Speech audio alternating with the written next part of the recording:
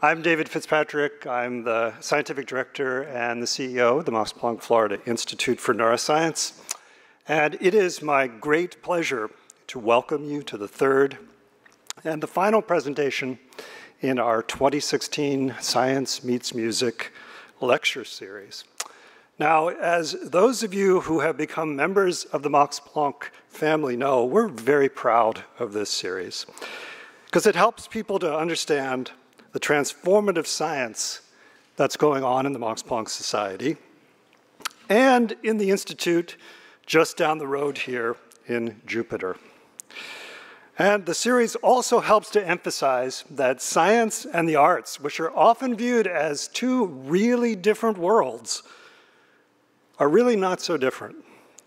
In fact, the passion, the creativity, the dedication, the discipline, the attention to detail that makes an outstanding artist are the same qualities that make an outstanding scientist.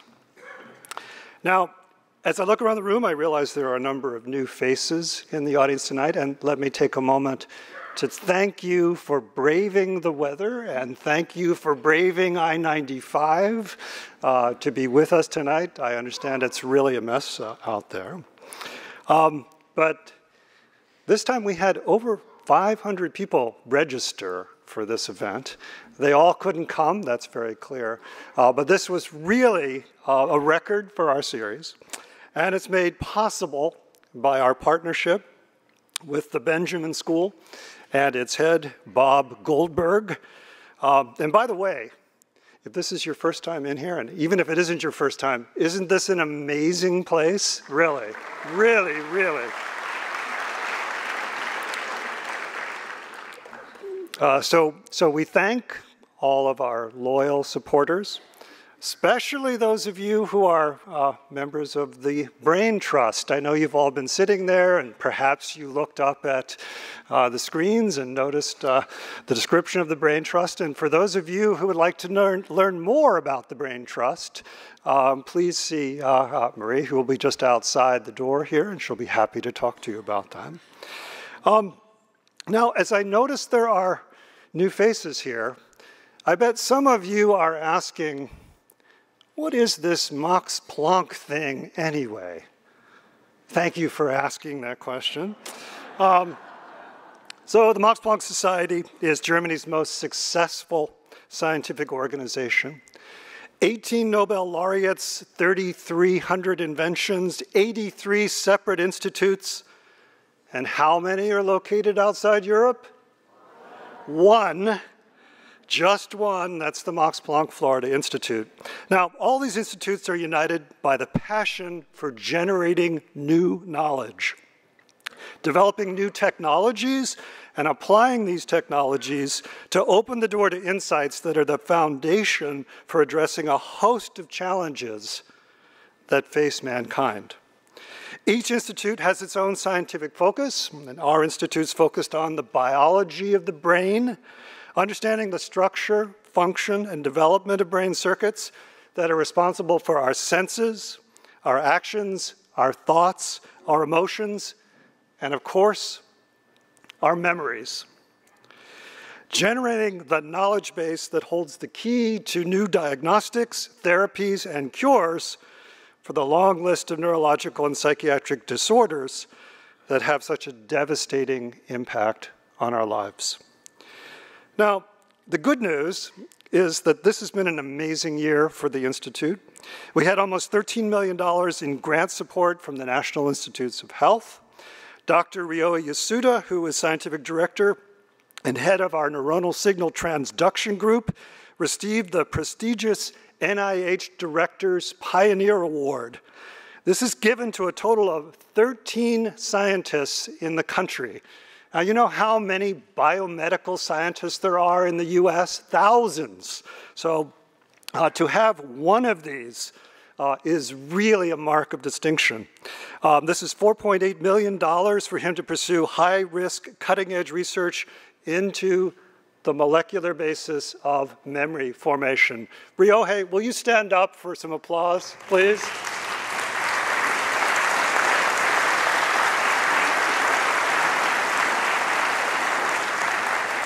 Now, I, I want you to understand that only two scientists in Florida received this award, and the other is at Scripps, Florida. His name is Matt Disney. Now, in case you haven't caught on, we are really putting Jupiter Life Sciences on the map of scientific discovery. And we thank this community for your continued support. But it's not all about scientific discovery, it's also about training the next generation of scientists. And of the first this past year has been the creation of the International Max Planck Research School for Brain and Behavior, and you saw some signs come up on that as well. Uh, we launched this with the Max Planck Institute in Bonn, Germany, uh, Bonn University, and our good colleagues at the Florida Atlantic University. We had over 200 applicants for this program in its first year, which was, which was remarkable. And I can tell you we're attracting some exceptional students to the program who know the amazing opportunities they have for training within the Max Planck environment. This is in addition to the training programs that we have for undergraduates that are FAU, our outreach programs, our summer internships for high school students and for teachers, um, and of course our annual Brain Bee competition. By the way, Bob, do you notice who won the Brain Bee competition this year? That's, that's right. Uh, students from the, the, Benjamin School here took first place in the, in the Brain Bee competition. Now, if it wasn't for our partnership with the Benjamin School and the access to this phenomenal venue, we wouldn't be able to offer this series uh, to uh, so many members of this community. And we're extremely thankful. And before we begin, I'd like to call Bob Goldberg up, head of Benjamin School, to say a few words. Bob?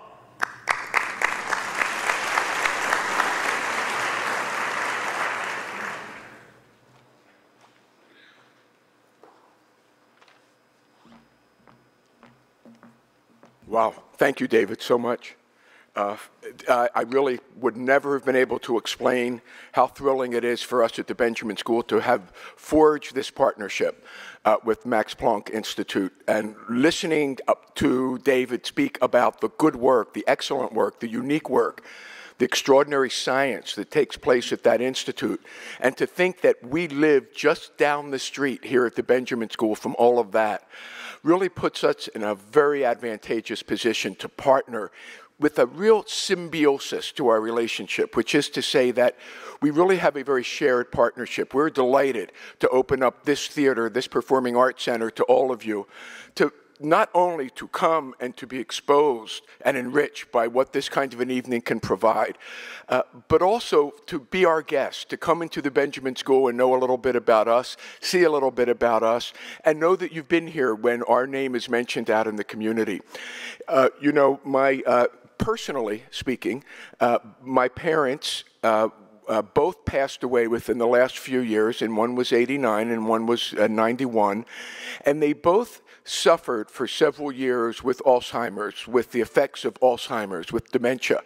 And as their child, and you know what it's like to grow up, you're always the child of your parents, no matter how old you get. It was very painful to watch them go through those last stages of life that were hardly the golden years for them.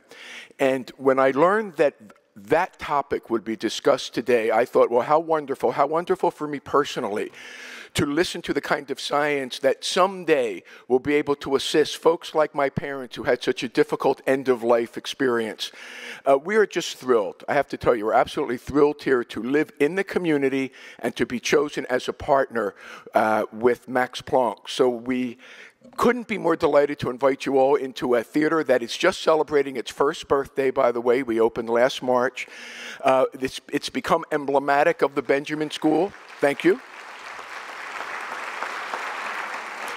This building has become emblematic of the Benjamin School in that we really feel over the past 10 years we've arrived on the national stage here at Benjamin.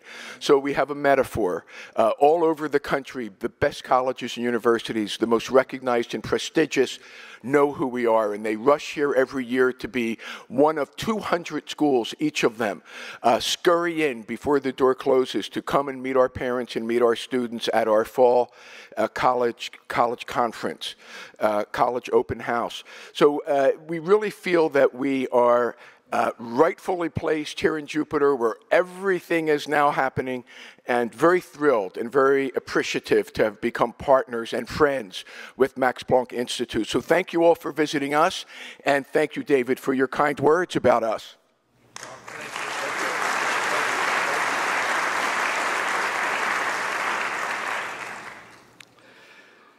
Now, in addition to the Benjamin School, uh, we owe a, a debt of gratitude to the Florida Atlantic University and to President John Kelly for all they've done and continue to do to support the development of neuroscience research on the Jupiter campus.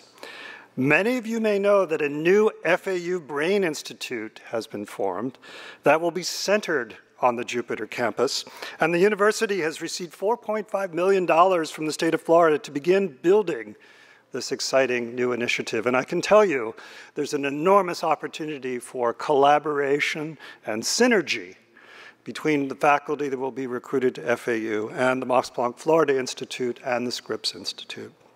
Now, tonight, Florida Atlantic University is contributing um, to our program through the talented students in the Department of Music who are members of the Florida Atlantic University Woodwind Quintet. And here to introduce them and the first musical performance is Dr. Kyle Prescott, who is Director of Bands at Florida Atlantic University. Kyle?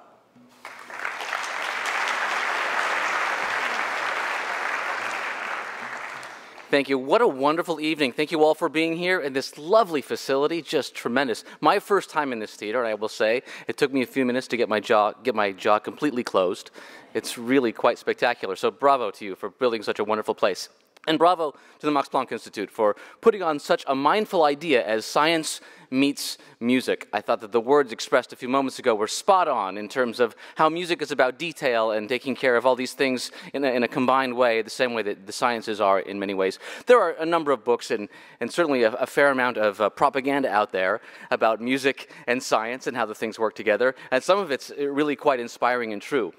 I will say this that uh, often as we look at public education today, and in, including in the university, we treat our students as receivers of information on very narrow streams. And we give them bits of information about this and that and the other thing, and then we give them a degree and hope they can put it all together. Well, the students on stage have taken coursework in music theory and music history and ear training and how to play scales and how to do this and that, and all these very specific things that have to do with music. And what you're going to hear in a few moments is what can happen when you take the various disparate elements elements of any discipline, put them all together into a human being, and let them truly synthesize. So, this is, um, this is what happens when synthesis meets art.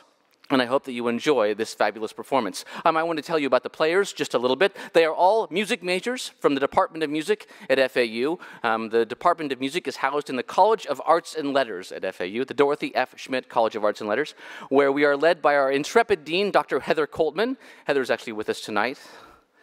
Heather, where are you? There we are.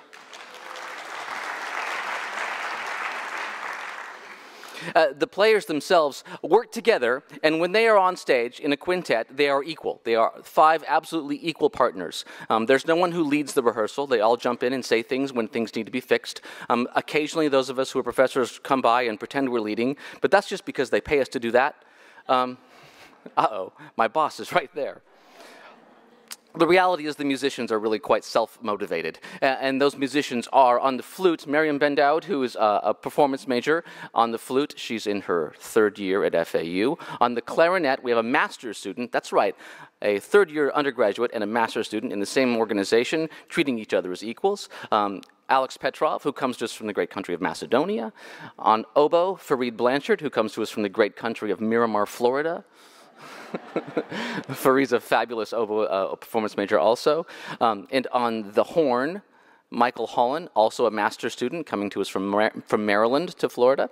And uh, I've left one out. Uh, on the bassoon, Patrick Montanari, who comes to us from regionally in Boynton Beach, also a, a commercial music major and an undergraduate studying to be a, uh, an engineer in, a, in one of those giant recording um, buildings someday. So, with that, I give you the combined forces, one organization, the FAU Woodwind Quintet.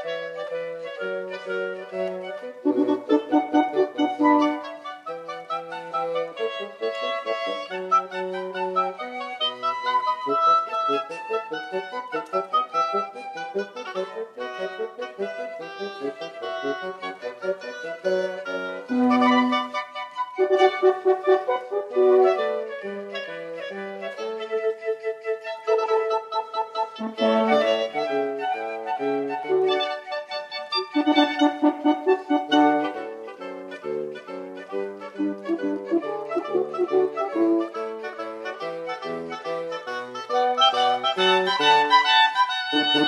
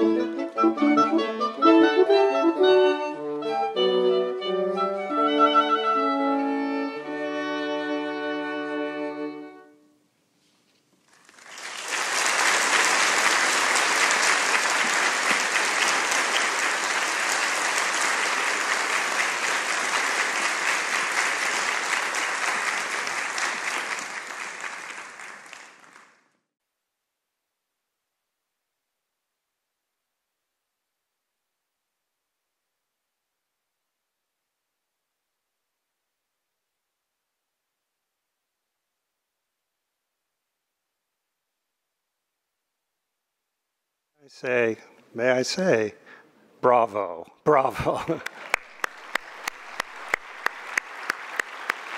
and uh, we, uh, we have been uh, collaborating with uh, FAU uh, for a number of years scientifically, uh, but I hope we can continue to collaborate in our lecture series and whatnot. That was really, really wonderful.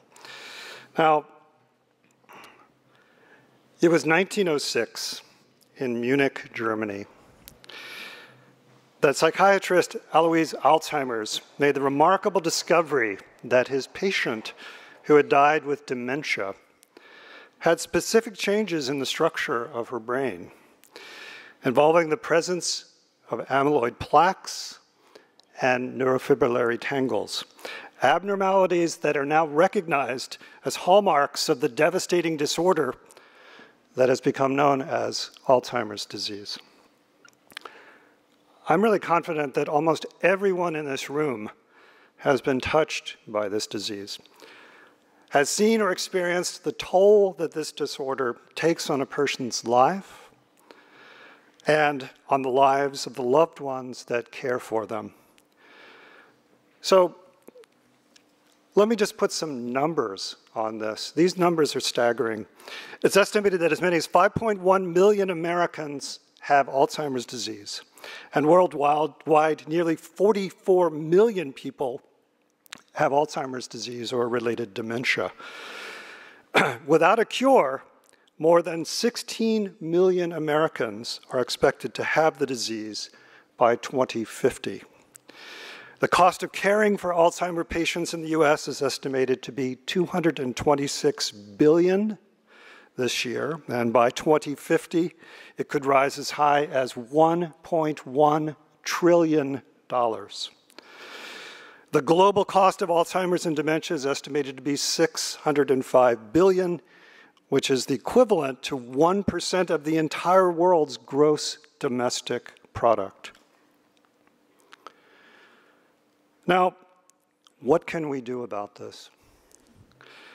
A number of scientists in the Max Planck Society, including those here in Jupiter, are addressing fundamental questions about the biology of the brain and the mechanisms that create and store memories so that we can better understand what's happening in memory disorders like Alzheimer's.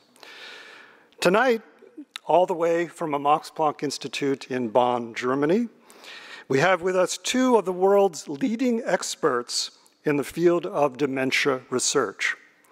Dr. Eva Mandelkow and Dr. Eckhard Mandelkow, a husband and wife team maybe I should have said a wife and husband team, sorry, Eva, whose scientific accomplishments have earned them international recognition and awards from organizations such as the American Academy of Neurology uh, and the United States Alzheimer's Association. The Mandelkows are responsible for pioneering work on the function of a protein called tau. That's T A U. And I guarantee you're going to hear more about that. Uh, and this turns out to be the basic substance that makes up those tangles that Alzheimer discovered so many years ago. So tonight, Eva will take the microphone to provide us with an overview of her groundbreaking, uh, of their groundbreaking research, my apologies. Um, just some background on Eva. Uh, she studied medicine and worked for several years as a physician in the clinic before shifting her focus to basic research. She earned her doctorate uh, at the Max Planck Institute for Medical Research in Heidelberg, um, where she and Eckhard uh, first met and developed uh, more than a scientific collaboration, may I say. Um, subsequently, she uh, carried out research at Brandeis, um, at Scripps Research Institute in La Jolla, uh, at the MRC lab uh, in Cambridge, where she really began to focus on proteins of the cytoskeleton. This is the structure that allows cells to maintain their shape and their organization, and it's especially elaborate in neurons that have these amazing dendritic and axonal processes that it can extend for long distances. Now, one of these proteins was tau, a protein that for a long time was not recognized as playing a role in Alzheimer's disease. Focus on plaques, plaques, plaques and tau didn't get attention. But Eva and Eckhard were driven by their interest in understanding the role that this protein plays in nerve cell function, They weren't thinking about Alzheimer's per se. They just wanted to know what does this protein do? And being together at the Max Planck Unit for Structural Biology in Hamburg, in the kind of environment that invests in scientists and encourages curiosity driven research, they were able to pursue novel approaches to understanding this protein's role in the brain that turns out to have direct relevance for Alzheimer's disease. It is really a great pleasure and a privilege to hand over the podium to Eva so she can tell you more about this couple's amazing research into Alzheimer's disease. Eva?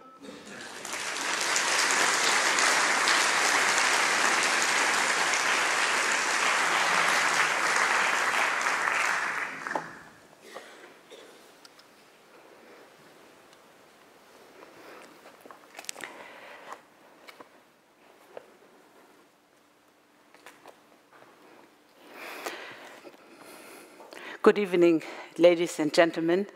Uh, it is a great honor for me to speak here on this event, Science Meets, uh, Science Meets Music. And uh, this is organized by the Max Planck uh, Florida Institute. And I would like to thank uh, David Fitzpatrick and his team for inviting me. The, title of my talk is uh, Alzheimer's disease, uh, and I would like to first give a review on the features of Alzheimer's disease, the research efforts on the causes of the disease, and then I would like to come to some very promising therapeutic approaches. Alzheimer's disease, as you all know, is a brain disease. It affects uh, um, people at advanced age it is uh, noticed by a gradual loss of memory, and that means loss of brain tissue, loss of nerve cells, and it is characterized by a clumping of two proteins in the brain, the amyloid beta protein in amyloid plaques and the tau protein in neurofibrillary tangles. And these features have been first noticed by Alois Alzheimer about 100 years ago um, when he actually treated his, his, first, the first Alzheimer patient, the Auguste Deter, and uh, after her death, actually, she looked in, he looked into the brain and he saw these abnormal protein deposits. And one of the famous uh, sentences of Auguste Deter was, Ich habe mich sozusagen verlassen, I have lost myself, so to speak. No, at that time, Alzheimer's disease was a rare disease because the average life expectancy was about 45 years old. But in the meantime, the advances of modern medicine have um, led to a dramatic increase of life expectancy uh, for up to over uh, 75 years uh, in developed countries. And so this means that the incidence of Alzheimer's has uh, increased tremendously. Uh, here you have a map um, of uh, 2010 where you see the countries uh, of, let me see here. Yeah, well, you see the countries here in blue in Europe that have over 20% of uh, people that are older than 65 years. And we expect in 2050, we expect actually that most of the countries in the world will have then 20% uh, or more of the people over 65 years. And that means in America, uh, 40 million Alzheimer patients. Well, I think uh, you, David said 60 millions. We don't know exactly uh, the millions. But it tells us actually what the major global health problem lies ahead of us. And that means not only a burden on the, on the, on the families, but also a burden, of course, um, financial burden on the health systems of all these different countries. And a very sm small fraction of the Alzheimer patient um, uh, uh have, have mutations in certain genes, and that can get inherited, and they cause the familial Alzheimer's disease. The last majority of Alzheimer patients um, have the sporadic form, But these familial cases are very important for us because they allowed us to uh, uh generate uh, cell and animal models and to actually uh, elucidate some of the key questions of the pathology of Alzheimer's disease. And the brain diseases can have many clinical manifestations depending on what region of the brain they are uh, taking place. And uh, Alzheimer's disease, for instance, is actually uh, the pathology of Alzheimer's disease is actually uh, affecting the hippocampus of the, the, brain, and that is the structure you see here in uh, color. And the hippocampus is actually the organ that uh, is storing, storing, the information uh, and uh, has, uh, gets the retrieval of the information.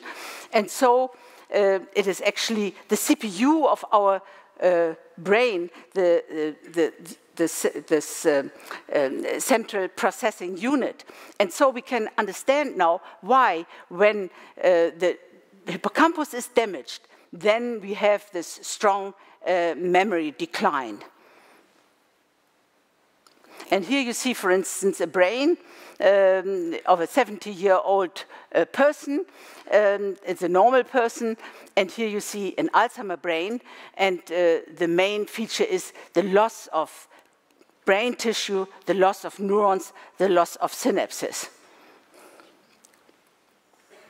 and the neuroanatomists, Heiko and Eva Braak in Frankfurt in Germany, they found about 20 years ago, when they looked at brain sections uh, of uh, people, they, look, they found that the Alzheimer pathology spreads in a very characteristic fashion through the brain. And, these, uh, and they uh, mm, found uh, then these six Braak stages. And the important point here is that the clinical manifestation of the stage one and two is, uh, this, uh, is completely silent. But we have mild cognitive impairment at stage three and four, and we have severe pathology and dementia um, at stage five and six. And now we cannot look into the brain of a living person, know, in the brain tissue, we cannot look in it. But there was this break, this huge breakthrough of uh, Chet Mathis and Bill Klunk in Pittsburgh um, recently, you know, five, five, six years ago, uh, because they developed methods to, uh, to um, detect the, the aggregates in the, in the brain and by non-invasive imaging. And they found a substance that binds to the amyloid plaques, and they could then um, image them by PET uh, positron um, emission uh, tomography. And here is now some examples of these, this method, and that comes from the, mm, the, the, the Harvard lab, um, Kate Johnson's uh, from, the, uh, from in Harvard. And here you see, for instance, normal people, they have very little amyloid plaques and very little tau in the brain. Now, in the middle, you see again normal people. They have quite a bit of amyloid already in the brain and also of tau, but they are still cognitively normal. And then you have here at, in the right, you have then the severe pathology, a lot of amyloid and a lot of tau protein, and this are the uh, brain. This is the brain of an Alzheimer patient, and he is completely demented. So, with other words, 10 to 15 year long, we have a phase of pathological aggregation before memory deficits uh, sets in. And so it's actually very important, uh, knowing this, that we have to start uh, ideally uh, with a th therapy if we want to prevent the uh, disease before the cognitive decline really sets massively in.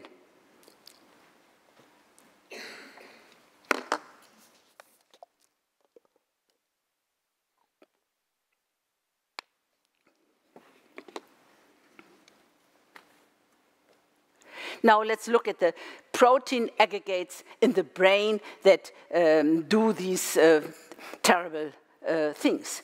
There are here you see uh, here the roundish structures are the amyloid plaques consisting of, a, uh, of the amyloid protein, and you see here these dark structures are the neurofibrillary tangles consisting of tau.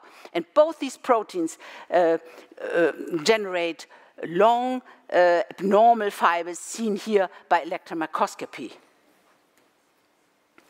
And both proteins have different functions in the brain. Like, for instance, um, in the case of a, a beta pr uh, protein here, uh, we are actually dealing with a membrane protein, the amyloid precursor protein, that sits here in the membrane, and then some proteases come that cut out of the middle of the protein, this membrane protein, cut this little piece here. This is the beta protein. And that then assembles into amyloid fibers, to plaques, and, um, and here we are dealing there with an abnormal cleavage of this membrane protein. And in the case of tau protein, it's, we're dealing with a cytoplasmic protein inside the cell, and it's actually binding to the microtubules inside the cell that are the tracks for transport, and they stabilize the microtubules. And then in Alzheimer's disease, the, this tau gets modified by so-called phosphorylation, detaches from the microtubules, the microtubules fall apart, the tracks, and then this tau protein aggregates in these new, these helical filaments, and then into this neurofibrillary uh, tangles.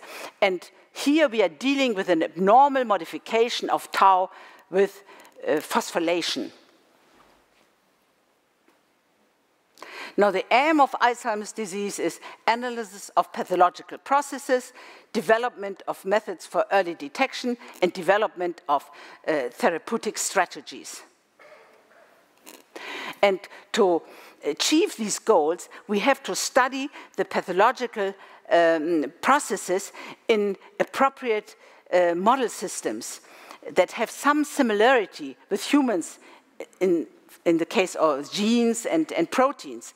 And the most um, important uh, animal models are actually uh, flies, flies, um, zebrafish, mice, and worms, and we are working on mice and worms. Let me now come to the cell biology and the pathology of the tau protein, and this is actually our uh, research area. Here I'm showing you how nerve cells uh, talk to each other. We have here uh, cell bodies, we have here the long axons, and then the small dendrites here, and then an electrical signal is actually generated here, um, and this is then transported along the axon and meets here the dendrites of another cell at the junctions, the so-called synapses, and then this cell's, uh, cell generates another electrical signal, and that moves on here and propagates to other cells. So this communication of the neurons in, in Alzheimer's is um, disturbed.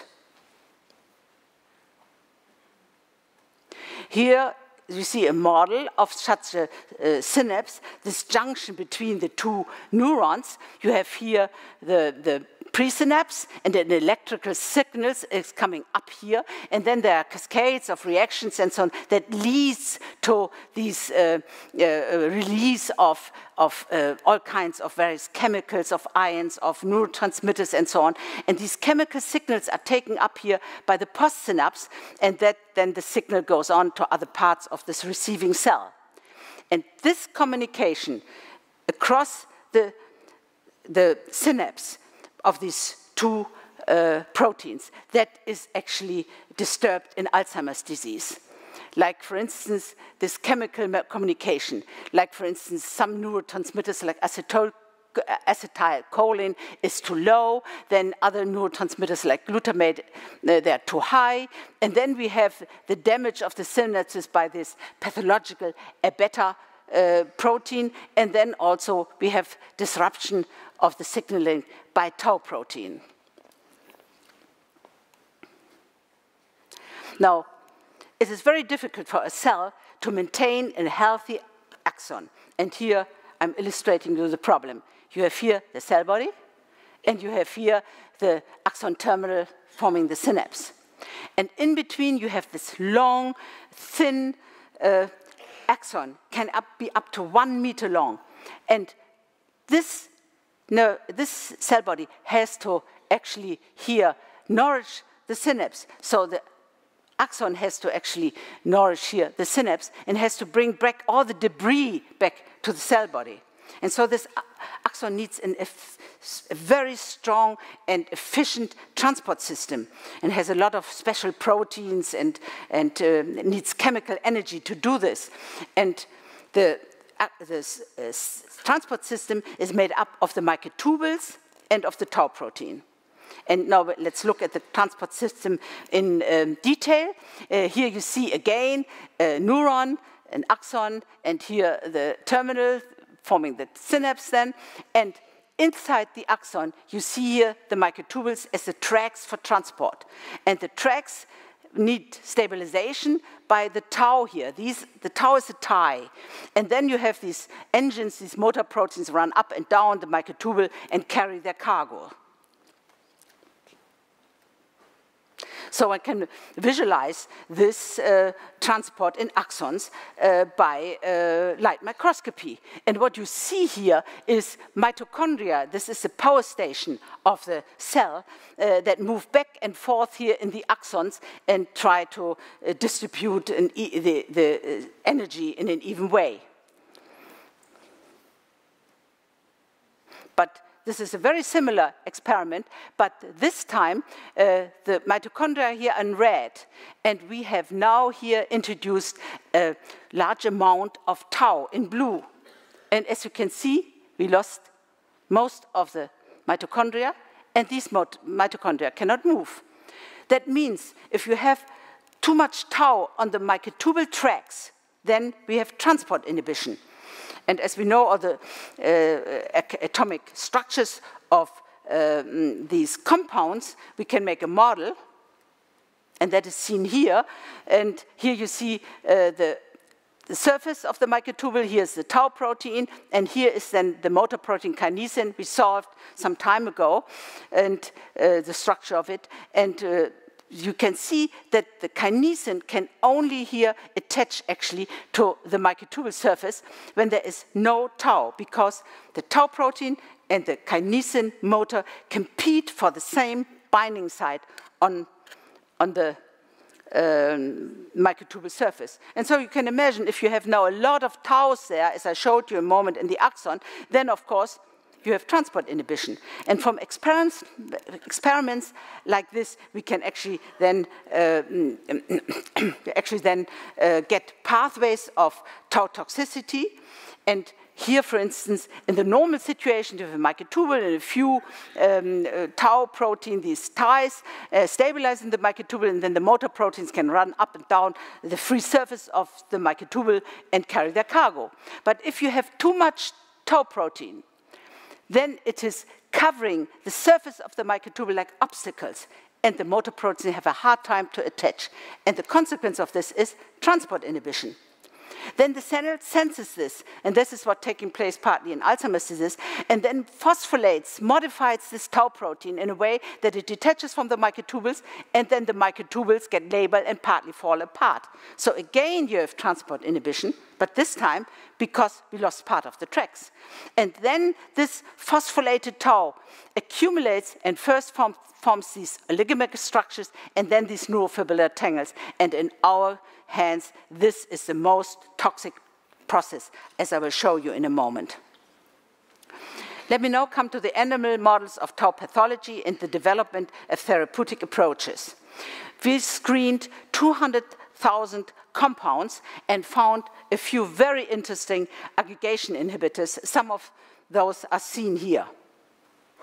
And then we made a model, a worm model, and where we actually expressed in the worms, the, in the neurons of the worms, the aggregated tau.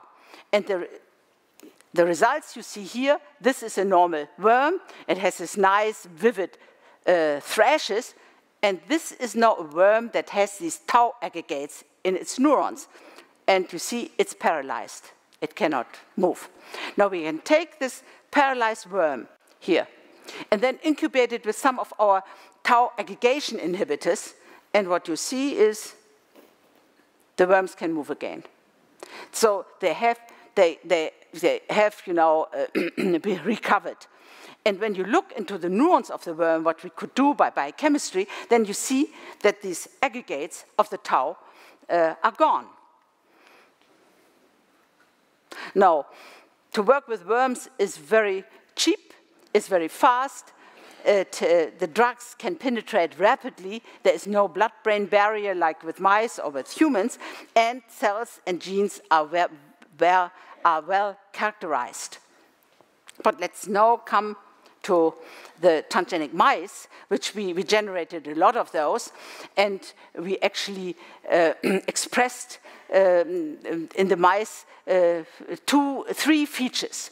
First of all, we made mice that either um, expressed a protein uh, that uh, tau mutant protein that aggregates very strongly, and we call it pro-aggregant. And then we also expressed a mutant of tau that cannot aggregate at all. We designed it this way, and we call it anti-aggregant. And then we actually uh, linked with the expression of tau uh, bioluminescent reporter. So we can actually observe then in live animals uh, the expression of tau by bioluminescence long before the cognitive decline sets in. And the third feature is that uh, we can switch on and can switch off the tau, so the the, the, this uh, transgenic mice are regulatable, and we can this way observe the onset of disease, and we can um, observe the recovery from disease. And here you see, for instance, 14-day-old mice, and you see here they have nice bioluminescent signals in, the, in their brain. These are live mice, just a little bit anesthetized, and so on. And these signals actually tell us that they're in, in, about 10 uh, uh, months they will uh, be demented. And now let's look at the sections, the brain sections of a, a mouse that uh, expresses this pro-aggregant tau, and you see after three months of expression of this mutant, we have already this robust um, aggregates of the neurofibrillary tangles, the tau aggregates.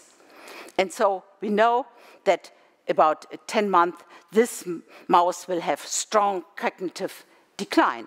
And then here, this, um, this other mouse that expresses a tau that cannot aggregate even after 22 months you know, there is no aggregates.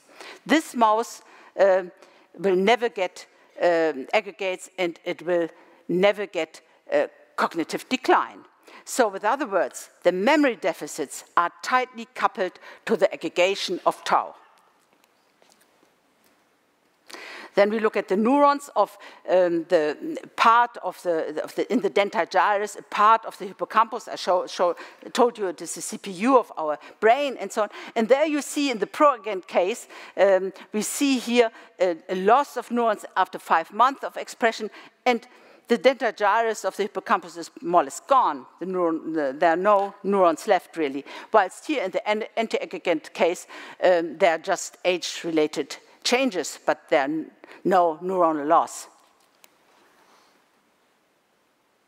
And let's now test these mice uh, for learning and memory. And one does it in a way that one has this pool of milky water, and then the mice have to learn the position of a platform, but they cannot see the platform because the, the surface the, the, is milky and so on. And you see the mouse, mouse gets trained for some time, here four days, and this is a fourth trial, and you see it can in about 15, 16 seconds uh, learn the position of the platform. But now let's look at our mice, mouse, this pro-aggregant mouse with all these aggregates of tau in the brain. Now, it has been actually trained one day longer, five days, and then the third trial. And as you can see, it has these aggregates of tau in the uh, brain. It has uh, synapse loss. It has neuronal loss. It has hyperphosphorylation of tau. It has uh, inflammation. It has all the signs that you find normally in the Alzheimer brain. And as you can see, it has a hard time to remember uh, the position of the platform here. And we didn't only test this one mouse, but we tested uh, 13 other mice with it, and they all show the same behavior. And this is actually the only mouse that, as, as you will see in a moment, just by chance, will actually find the platform. The rest of the mice will not find the platform, and after one and a half minutes, we try to rescue them because they, they, they panic if they, because they're not made for swimming. So now the question is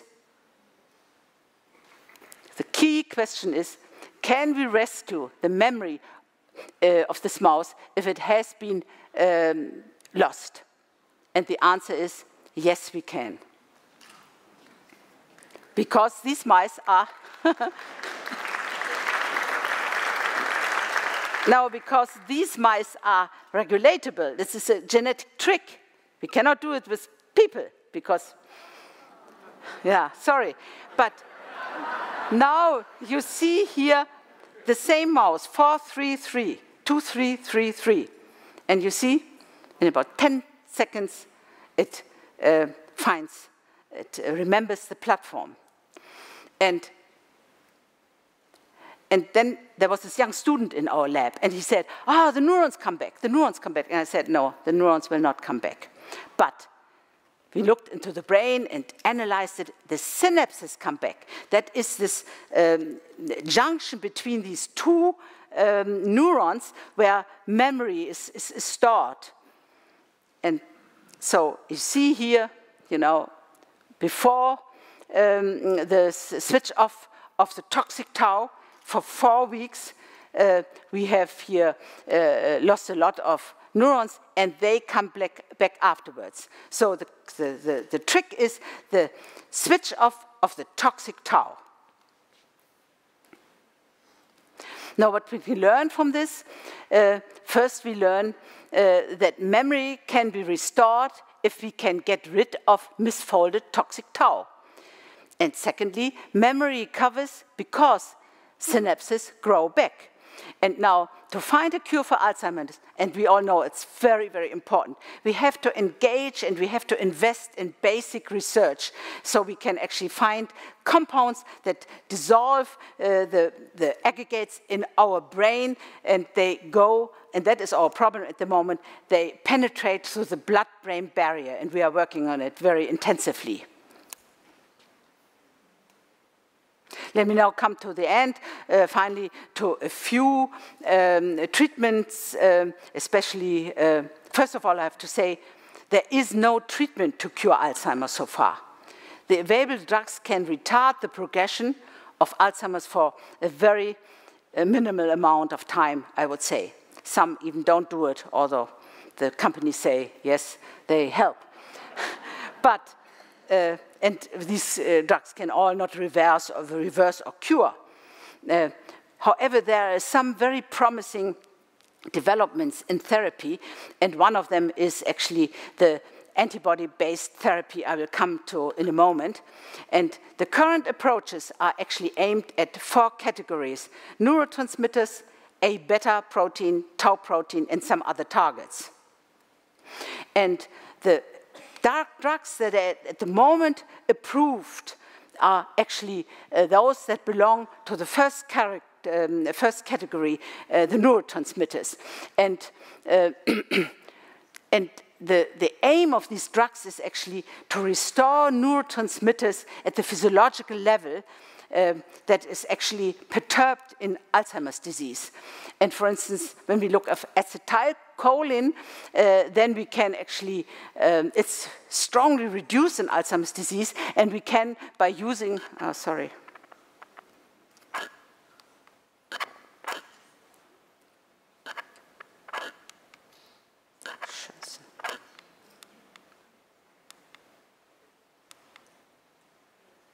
So, um, sorry.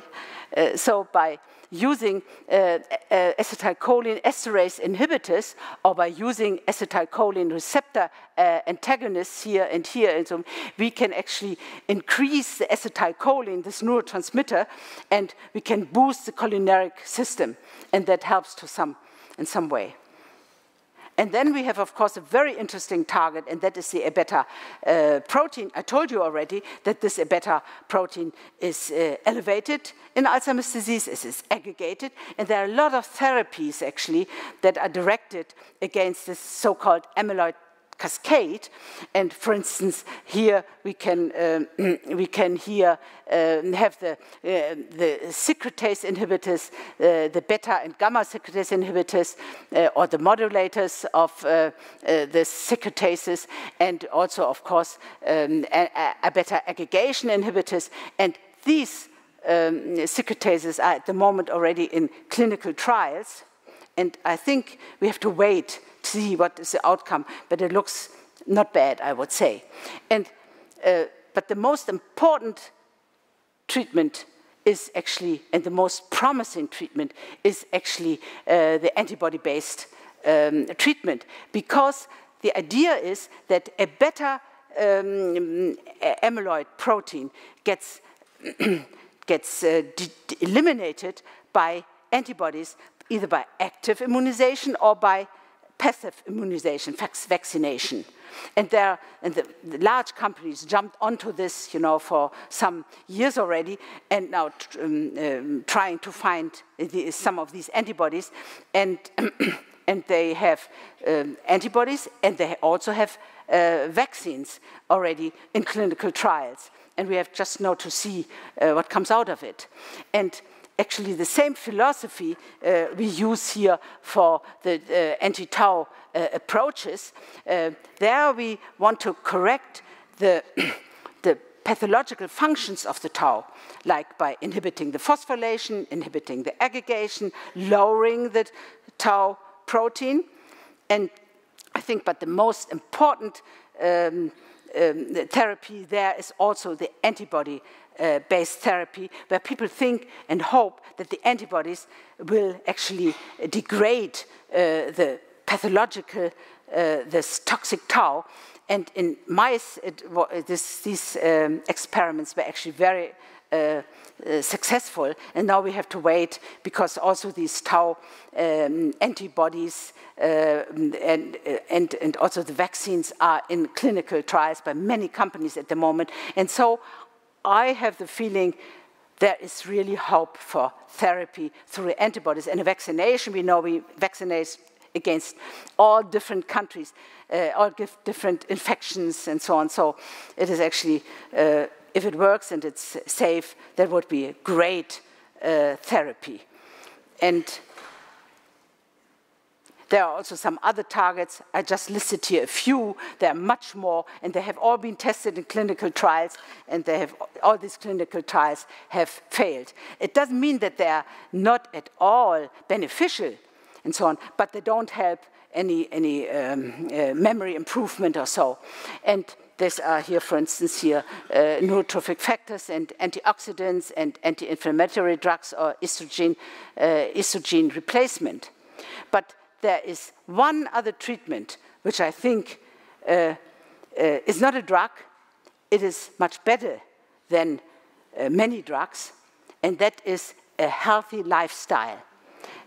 And I think a healthy lifestyle means that you have to uh, take all the efforts to get your cardiovascular system and the metabolism uh, in order because the aging brain is actually um, suffering from uh, some from um, uh, decreased, supply of nutrients and a decreased supply of oxygens. And so a healthy lifestyle, what does it mean? Uh, you should, or we, or I, we should eat moderately and we should exercise regularly, very, very important to keep the chol cholesterol down and so on. And then to avoid here uh, diabetes, to avoid, avoid obesity, heart disease, because these are risk factors for Alzheimer's disease. And so my last sentence here is what's good for your heart is good for your brain. And with that, I would like to thank my collaborators, uh, very engaged technicians, PhD students, um, postdocs, and my main collaborator, although he doesn't, didn't want us, uh, me to put it here, is of course my husband, Eckhard Mandelkow. and, and I just, I just would like, I would just like to have one more word on the funding situation, and that is that we are very thankful for all the financial support we get from the German Center for Neurodegeneration that is here in the Max Planck Institute in Bonn at CAESAR. Uh, at the moment, and then the, uh, of course, the Max Planck Society, and then the MetLife Foundation, and then the uh, Wellcome Trust MRC Foundation, and then the Tau Consortium, and then the Foundation Cure Alzheimer Funds. And I think, although we get a lot of money, you see this, you know, but I think there is never enough investment for basic research in Alzheimer's disease. And the other day, a young student came, very young actually, uh, making a practicum. He said, oh, I have this great idea. I read all these wonderful papers and so on. I would like to treat uh, mice with a certain drug against inflammation. And inflammation plays a role in Alzheimer's disease. And I said, okay, that's, how much does it cost? And he said, well, I need these mice and so on, and mice are very expensive. And, and then he said, well, about 15 to 20,000 euros. And I said, no, we have all, all our money is planned for experiments, so we have to wait till we get new grants in, and then you can do this. But I felt that this was a great idea, and I felt very sorry that we could not just say, get, get the mice, because we still have mice that were actually uh, thought for another experiment, and just let him do this experiment because he's so, so engaged and he's so enthusiastic about it. And with that, I thank you for your attention.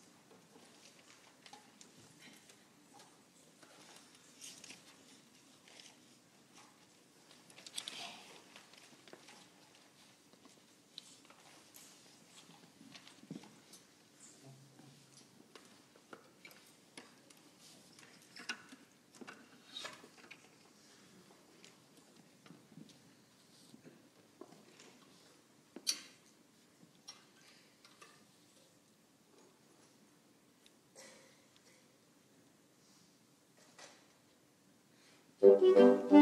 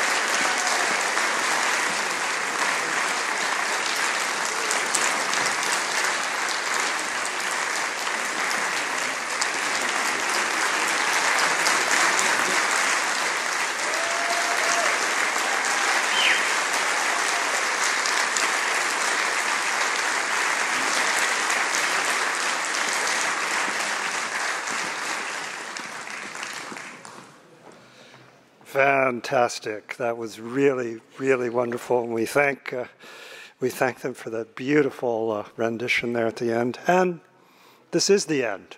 Um, this is the end of tonight's program. Um, it's also the end of our Science Meets Music series for this year. We thank you for the support that you've shown for our program. Uh, lots of people giving us positive feedback. You can bet we will be here next season and we hope to see you as well. Thank you very much. Safe trip home. See you next year. Bye bye.